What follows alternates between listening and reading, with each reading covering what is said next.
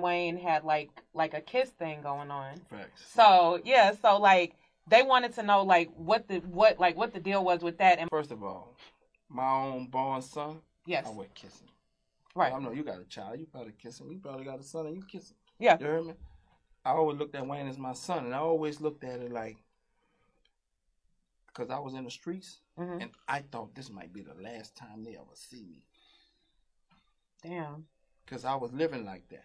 Right, So I was like, that's what that shit really started from, because I thought that every night I leave, I might not never come back.